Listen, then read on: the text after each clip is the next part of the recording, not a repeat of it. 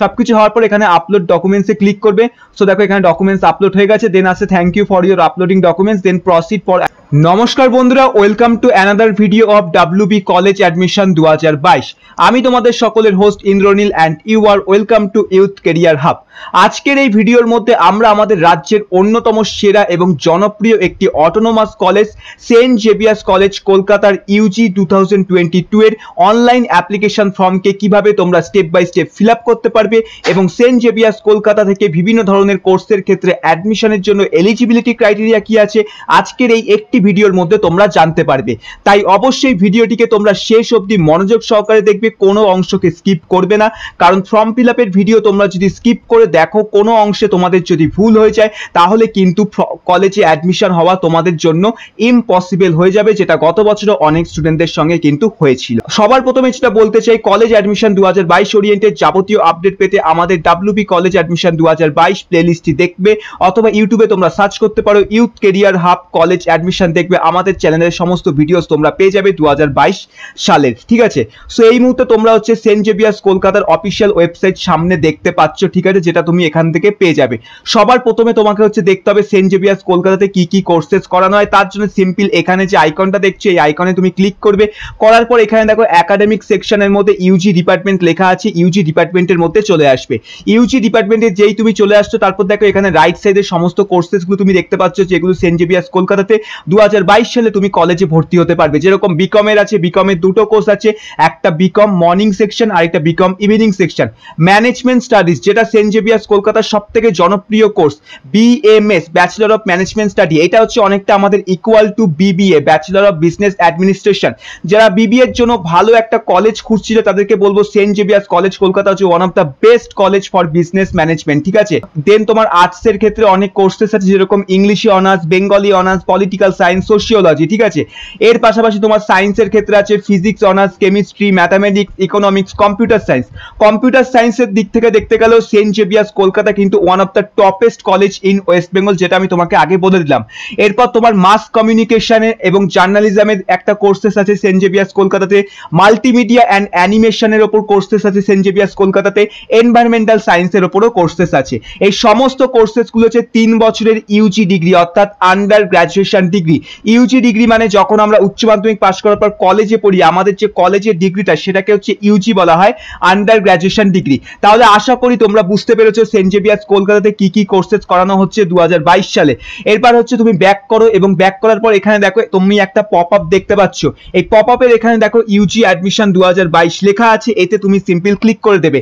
যেই ক্লিক করবে, তারপর দেখো তোমার দু হাজার বাইশ সালের অনলাইন অ্যাডমিশনের যে পোর্টালটা আছে, সেই পোর্টালটা কিন্তু আমাদের ওপেন হচ্ছে। এবার নিচের দিকে স্ক্রোল করো। স্ক্রোল করার পর দেখো, এখানে তুমি দুটো জিনিস দেখতে পাচ্ছ। একটা ইউজি কোর্সের সেশন দু হাজার বাইশ তেইশ মেন ক্যাম্পাস আরেকটা হচ্ছে ইউজি কোর্সের সেশন দু হাজার বাইশ তেইশ, রাঘবপুর ক্যাম্পাস সেন্ট জেভিয়ার্স কলকাতার দুটো ক্যাম্পাস আছে, একটা মেন ক্যাম্পাস আর একটা রাঘবপুর ক্যাম্পাস রাঘবপুর ক্যাম্পাসে হচ্ছে তোমার শুধুমাত্র কিছু আর্টসের কোর্স ব্যাচেলার অফ আর্টস এবং কিছু বিকমের কোর্সেস তোমার করানো হয়ে থাকে। মেন ক্যাম্পাসের সমস্ত কোর্সেস তুমি পাবে। যে ক্যাম্পাসটায় ভর্তি হতে চাও, সেই ক্যাম্পাসে এখানে ক্লিক হেয়ার পর ডিটেলসে তুমি হচ্ছে ক্লিক করে দেবে। তারপরে দেখো এখানে পেজ ওপেন হয়ে গেল। ওপেন হওয়ার পর সবার প্রথমে তোমাকে এলিজিবিলিটি ক্রাইটেরিয়াটা দেখতে হবে। কারণ যখন কোনো কলেজে তুমি ভর্তি হবে বা অ্যাপ্লিকেশন ফর্ম ফিল করবে, সবার আগে তার এলিজিবিলিটি ক্রাইটেরিয়াটা তোমাকে জানতে হয়। আর যেহেতু সেন্ট জেভিয়ার্স কলকাতা অটোনোমাস তাই এর এলিজিবিলিটি ক্রাইটেরিয়াও একটু ডিফারেন্ট আছে বাদবাকি কলেজের তুলনায়। তাই তুমি দেখো এখানে অ্যাডমিশন প্রসিডিউর বলে একটা অপশন পাচ্ছ, একটা বক্স পাচ্ছ। তার এখানে দেখো এলিজিবিলিটি ক্রাইটেরিয়া বলা আছে। এর মধ্যে তুমি সিম্পল ক্লিক করে দাও। দেন দেখো এখানে তোমার এলিজিবিলিটি ক্রাইটেরিয়া চলে এসেছে। সবার প্রথম এলিজিবিলিটি ক্রাইটেরিয়াতে যেটা বলা হয়েছে, তোমাকে অবশ্যই তোমার ক্লাস টুয়েলভ বোর্ড এক্সামে যতগুলো সাবজেক্ট আছে, প্রত্যেকটা সাবজেক্টের ক্ষেত্রে তোমাকে পাস নম্বর তুলতে হবে। যেরকম ধরো, তোমার যদি ছটা সাবজেক্ট থাকে, ছটা সাবজেক্টেই তোমাকে পাস নম্বর তুলতে হবে। তোমার পাঁচটা সাবজেক্ট থাকলে পাঁচটা সাবজেক্টের ক্ষেত্রে তোমাকে কিন্তু পাস নম্বর তুলতে হবে। কোনো একটি সাবজেক্টে তুমি যদি ফেল থাকো, তাহলে কিন্তু সেন্ট জেভিয়ার্স কলকাতায় তুমি এলিজিবল হচ্ছ না, ঠিক আছে? সেকেন্ড সেকেন্ড যেটা বলা হয়েছে the student must have obtain forty five percent marks in each of the fourth subject included in the aggregate calculation so saint Xavier's কলকাতার ক্ষেত্রে যে মেরিট লিস্টটা বের হয়, সেটা বেস্ট অফ ফাইভের ওপর বেস করে নয়, সেটা তোমার বেস্ট অফ ফোরের ওপর বেস করে। অর্থাৎ তোমার ক্লাস টুয়েলভ বোর্ড এক্সামে যতগুলো সাবজেক্ট আছে, তার মধ্যে থেকে টপ ফোর যে সাবজেক্টগুলো আছে, যে চারটে সাবজেক্টে সব থেকে বেশি তুমি নাম্বার পেয়েছ, সেই চারটে সাবজেক্টের অ্যাগ্রিগেট নাম্বারটার মাধ্যমে তোমার সেন্ট জেভিয়ার্স কলকাতাতে মেরিট লিস্ট তৈরি হয়। সো এখানে বলা হয়েছে, সেই যে চারটে সাবজেক্ট তুমি হচ্ছে এখানে দেবে, সেই চারটে সাবজেক্টের প্রত্যেকটাতে তোমার যেন ফর্টি ফাইভ পার্সেন্ট নাম্বার থাকে। অর্থাৎ একশোতে টোটাল যেন পঁয়তাল্লিশ করে নাম্বার থাকে সেই চারটে সাবজেক্টের মধ্যে। যে চারটে সাবজেক্ট তুমি হচ্ছে এখানে বেস্ট অফ ফোরের জন্য দেবে সেন্ট জেভিয়ার্স কলকাতাতে, ঠিক আছে? এবং অবশ্যই তিন নম্বরে যেটা বলা হয়েছে, তোমার মার্কশিটে যে নম্বরগুলো আছে, সেগুলোই তোমাকে ইনপুট করতে বলা হয়েছে। নিজে থেকে কোনো উল্টো পাল্টা নম্বর ইনপুট করলে কিন্তু তোমার অ্যাপ্লিকেশন ফর্ম রিজেক্ট করে দেওয়া হবে। দেন সাবজেক্ট ওয়াইজ তোমার এখানে এলিজিবিলিটি ক্রাইটেরিয়া দেওয়া হয়েছে। এটা সম্পূর্ণ তোমরা হচ্ছে নিজেরা দেখবে, কারণ বেশি কিছু বললে সময় নষ্ট হয়ে যাবে। কয়েকটা বলে দিচ্ছি, যেরকম ধরো যারা তোমরা হচ্ছে ইংলিশে অনার্স নিতে চাও, তাদের ক্ষেত্রে বলা হয়েছে কম্পালসারি সাবজেক্ট হিসেবে অবশ্যই ইংলিশটাকে রাখতে হবে। ফর্ম ফিল করার সময়। অ্যাগ্রিগেট ক্যালকুলেশনে তোমার হচ্ছে কম্পালসারি সাবজেক্ট ইংলিশ থাকবে এবং তার পাশাপাশি তোমার মেন সাবজেক্টের মধ্যে থেকে যে কোনো বেস্ট তিনটে সাবজেক্ট হচ্ছে তোমার এক্ষেত্রে থাকবে, ঠিক আছে? আর এখানে দেখো কি বলা আছে marks requirement for application sixty percent aggregate তো তোমার মোটামুটি ক্লাস টুয়েলভে সিক্সটি পার্সেন্ট অ্যাগ্রিগেট পেয়ে তোমাকে কিন্তু পাস করতে বলা হয়েছে, ঠিক আছে? এখানে বলে দিয়েছে, সেরকমই তোমার পলিটিক্যাল সায়েন্সের ক্ষেত্রে আছে সোশিওলজির ক্ষেত্রে আছে, সব তোমরা নিজেরা দেখে নেবে, ঠিক আছে? আমি এখানে একটু কম্পিউটার সায়েন্সটা দেখিয়ে দিই। সো বিএসসি কম্পিউটার সায়েন্সের ক্ষেত্রে হচ্ছে অবশ্যই কম্পালসারি সাবজেক্ট হিসেবে তোমার ক্লাস টুয়েলভে ফিজিক্স এবং ম্যাথামেটিক্স থাকতে হবে। ফিজিক্স এবং ম্যাথামেটিক্স না থাকলে তুমি সেন্ট জেভিয়ার্স কলকাতাতে কম্পিউটার সায়েন্সে অনার্স নিতে পারবে না। এবং অ্যাগ্রিগেট ক্যালকুলেশনটা কীভাবে হবে সেখানে তোমার হচ্ছে কম্পালসারি সাবজেক্ট ফিজিক্স এবং ম্যাথ থাকবে। তার পাশাপাশি যে কোনো দুটো সাবজেক্ট তুমি ইনক্লুড করতে পারো। মার্কসের যদি কথা বলি তাহলে এক্ষেত্রে বলা হয়েছে তোমার অ্যাগ্রিগেট মার্কস হচ্ছে সিক্সটি পার্সেন্টেজ থাকতে হবে এবং ম্যাথামেটিক্সে অবশ্যই সিক্সটি পার্সেন্টেজ পেয়ে তোমাকে পাস করতে হবে। তাহলেই তুমি পুরোপুরি এলিজিবল আছো, ঠিক আছে? এইভাবে সমস্তগুলো তুমি দেখে নেবে। বিএমএস এর ক্ষেত্রেও এখানে তুমি এলিজিবিলিটি ক্রাইটেরিয়া দেখতে পাচ্ছ।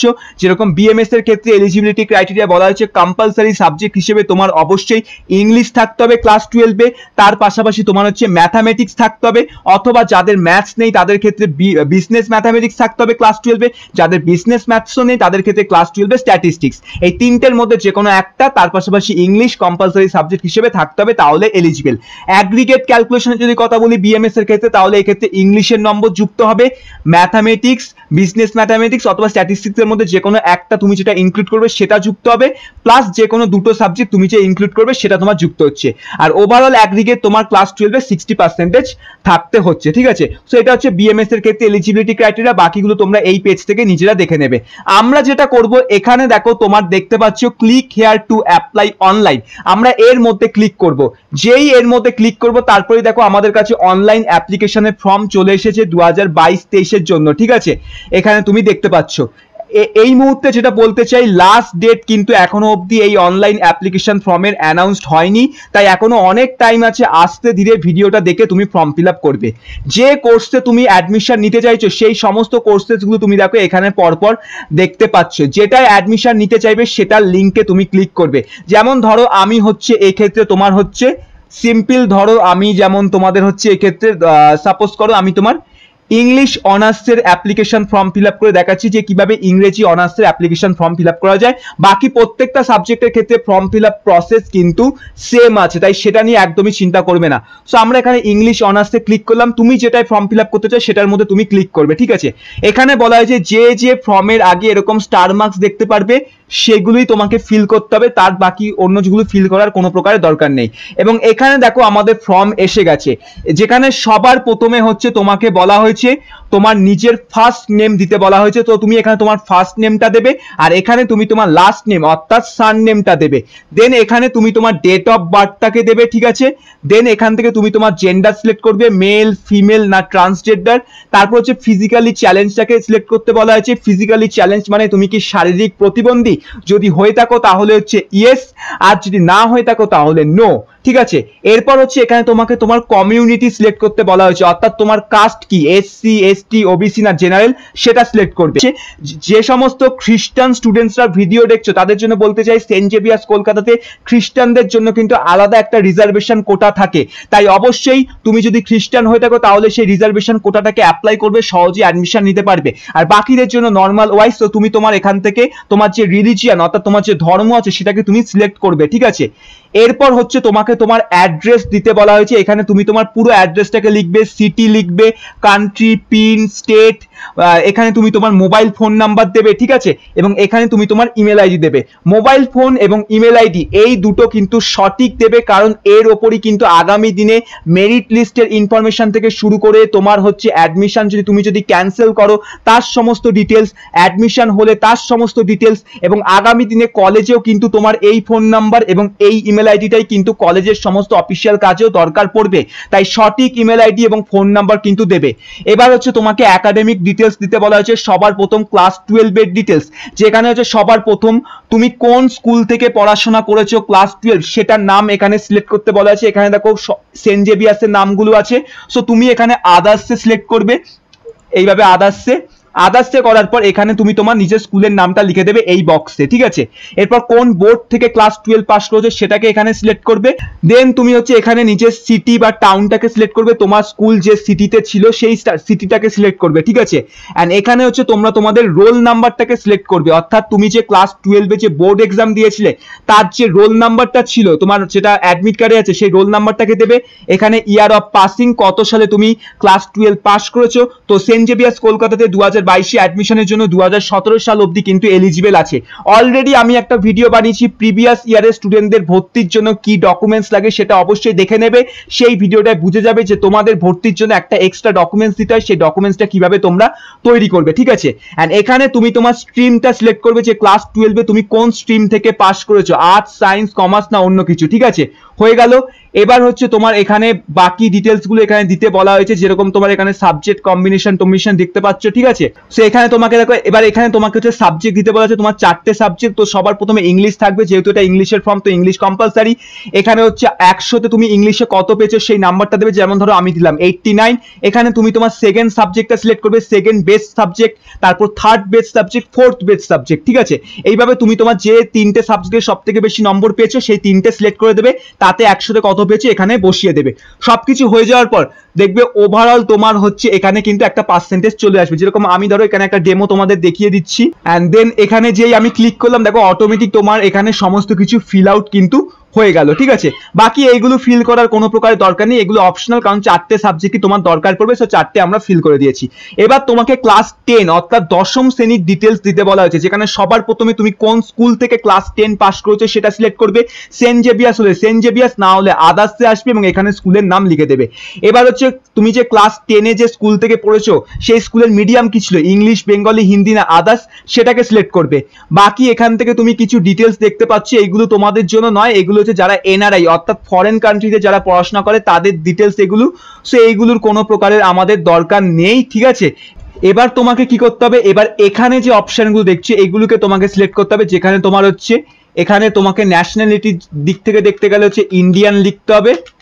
অ্যান্ড দেন এখানে তোমাকে তোমার ফাদার্স নেমটা লিখতে হবে। তো তুমি তোমার ফাদার্স এর নেম লিখে দেবে, এখানে মাদার্স নেম এখানে গার্জেন নেম যাকে গার্জেন হিসেবে রাখতে চাও বাবা বা মাকে, এবং যাকে গার্জেন হিসেবে রেখেছো তার সঙ্গে তোমার রিলেশনশিপ কি আর তোমার বাড়ির ফ্যামিলি ইনকাম কত, সেগুলো এখানে লিখে দেবে, ঠিক আছে? সো ফটাফট আমি এই ডিটেলসগুলো ফিল আপ করে দিই। সো দেখো, আমি এখানে সব ডিটেলস ফিল আপ করে দিয়েছি। সো এইভাবে এই জায়গাটা ফিল আপ করবে দেন চেক বক্স করে দেবে অ্যান্ড দেন সাবমিট বাটনে ক্লিক করবে।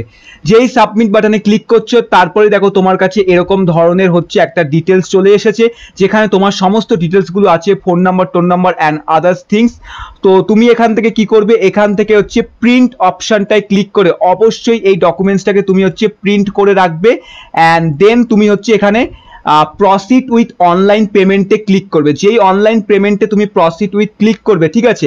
এবার হচ্ছে তোমাকে এখানে যেগুলো করতে বলা হয়েছে, সবার প্রথমে তোমাকে তোমার ক্লাস টুয়েলভের ফাইনাল মার্কশিটটাকে আপলোড করতে বলা হয়েছে। চুজ ফাইলে যাবে এবং চুজ ফাইলে গিয়ে হচ্ছে তোমাকে আপলোড করতে বলা হয়েছে, ঠিক আছে? এবং এখানে যে আপলোড করতে বলা হয়েছে, এখানে অবশ্যই একটা জিনিস মনে রাখবে ভালোভাবে। আপলোড যে তোমার হবে সেই পিডিএফ সেই ফরম্যাটটা ফাইলের তোমার হচ্ছে পিডিএফ হতে হবে। সো তুমি তো কি করবে? ক্লাস টুয়েলভের যে মার্কশিট আছে, সেটার ছবি তুলবে। ছবি তুলে তার একটা পিডিএফ বানাবে এবং সেই পিডিএফ এর সাইজ মিনিমাম আটশো কেবির মধ্যে হয়। দেন সেই পিডিএফটাকে তুমি হচ্ছে এখান থেকে আপলোড করে দিতে পারবে। ঠিক আছে? সো আমি দেখি যে কোনো একটা পিডিএফ আপলোড করে দেখিয়ে দিই তোমাদের ফর জাস্ট ডেমো ডেমো পারপাসের জন্য আমি এইভাবে দেখাচ্ছি। ঠিক আছে তোমাদের? সো আমি এই পিডিএফটাকে এখান থেকে আপলোড করে দিই। সো দেখো পিডিএফ আমার আপলোড হয়ে গেছে। বাকি এখানে তোমার যদি কাস্ট সার্টিফিকেট থাকে এসটি এসটি ওবিসি তাহলে সেটাকেও আপলোড করবে। আর তুমি যদি খ্রিস্টান হও, তাহলে ব্যাপটিজম সার্টিফিকেশন তোমাকে হচ্ছে আপলোড করতে হচ্ছে। সবকিছু হওয়ার পর এখানে আপলোড ডকুমেন্টসে ক্লিক করবে। সো দেখো, এখানে ডকুমেন্টস আপলোড হয়ে গেছে। দেন আসে thank you for your uploading documents then proceed for application fees payment করবে। সো এখান থেকে তোমাকে হচ্ছে এবার পেমেন্ট গেটওয়ে সিলেক্ট করবে। সো পেমেন্ট গেটওয়ে সিলেক্ট করে তুমি হচ্ছে অনলাইনে পেমেন্ট করবে এবং তোমার কাজ কমপ্লিট হয়ে যাবে। সো এটাই ছিল আমাদের বেসিক্যালি সেন্ট জেভিয়ার্স কলকাতার দু হাজার বাইশ, তেইশ সেশন আন্ডার গ্রাজুয়েশনের জন্য কীভাবে তুমি online application form fill up করতে পারবে তার স্টেপ বাই স্টেপ প্রসেস কোনো প্রকারের সমস্যা হলে কমেন্ট সেকশনে কমেন্ট করে জানাবে, আমি অবশ্যই তোমাকে হেল্প করব। বাকি যত কলেজেস আছে, তারও ফর্ম ফিল আপ স্টার্ট করব। এই মুহূর্তে যে যে কলেজের ফর্ম ফিল আপ শুরু হচ্ছে, সেগুলোর ভিডিও আমরা বানাচ্ছি। আঠেরোই জুলাই থেকে আমাদের রাজ্যের সমস্ত কলেজেরই শুরু হয়ে যাবে, যেগুলো তোমাদের হচ্ছে স্টেট গভর্নমেন্ট ফান্ডেড কলেজেস আছে। তখন আরও ভিডিওস তোমরা দেখতে পাবে ফর্ম ফিল আপের তার জন্য অবশ্যই চ্যানেলটিকে সাবস্ক্রাইব করতে হবে, পাশে থাকা বেল আইকনটিকে প্রেস করে আমাদের পরিবারের সদস্য হতে হবে। এই ভিডিওটিকে প্রচুর পরিমাণে লাইক এবং শেয়ার করতে হবে সকল বন্ধুদের মধ্যে।